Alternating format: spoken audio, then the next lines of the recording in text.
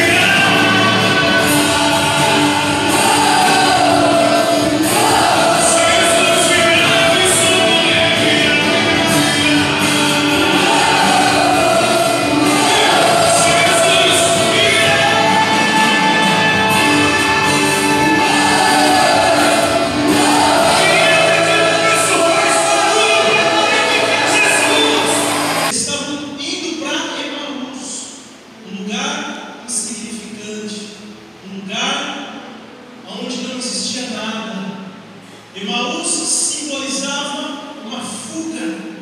Emaús